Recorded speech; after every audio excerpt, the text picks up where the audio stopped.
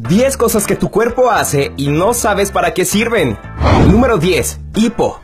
Este es un sonido causado por una alteración o irritación en el diafragma, misma que sucede cuando comemos muy rápido, nos excedemos en el consumo del alcohol o respiramos por la boca o nariz de forma acelerada. Lo que significa que cuando tu cuerpo realiza este sonido, te está diciendo alto. No lo ignores.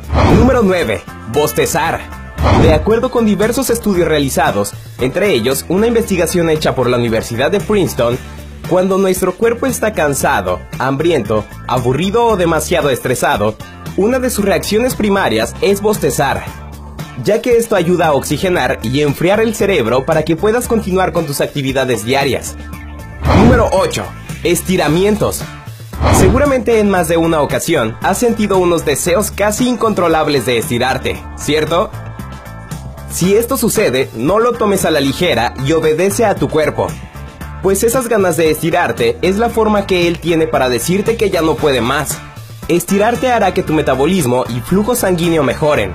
El oxígeno fluirá mejor por tu cerebro y tus músculos se relajarán, proveyéndote de una deliciosa sensación de bienestar.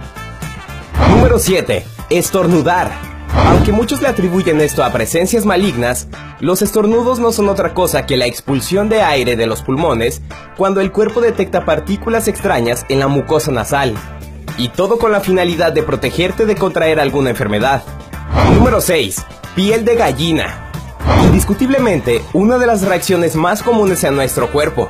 Si esto te sucede cuando tienes frío, miedo o te encuentras en una situación incómoda, Permíteme informarte que los vellos de tu piel se levantan para tratar de aislar el aire o protegerte del peligro, tal y como lo hacen los animales. Sin embargo, lamentablemente en nuestro caso no tenemos tan buenos resultados como ellos, principalmente cuando del frío se trata. Número 5. Temblor en el párpado.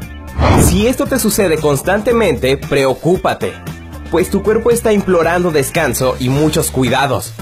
Tal y como lo oyes, estos pequeños espasmos suceden cuando nos encontramos en situaciones de estrés, insomnio, mala alimentación o con exceso de cafeína en el organismo.